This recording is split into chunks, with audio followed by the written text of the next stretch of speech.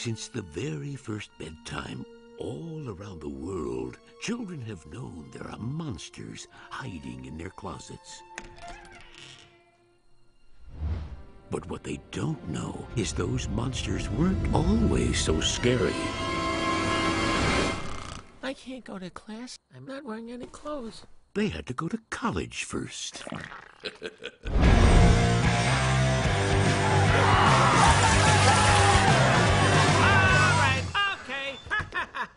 Very funny, Sullivan. You look great, Wazowski. You know, if you're gonna prank someone, the least you could do is think of something clever.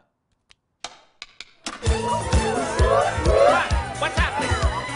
I don't, I don't get it.